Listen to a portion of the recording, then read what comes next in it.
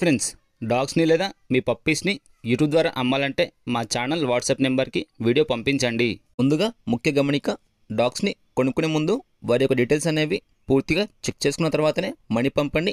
ఆ తర్వాత పూర్తి బాధ్యత మీపై మాత్రమే ఉంటుంది.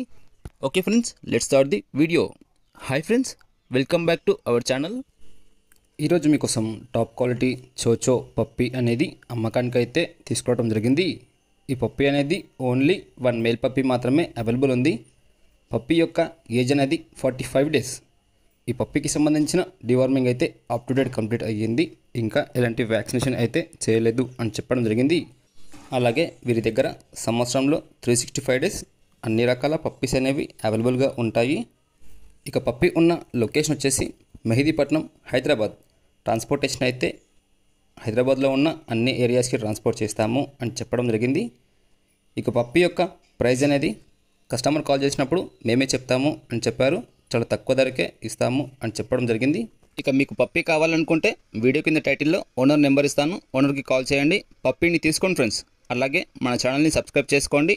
Thank you friends. Bye bye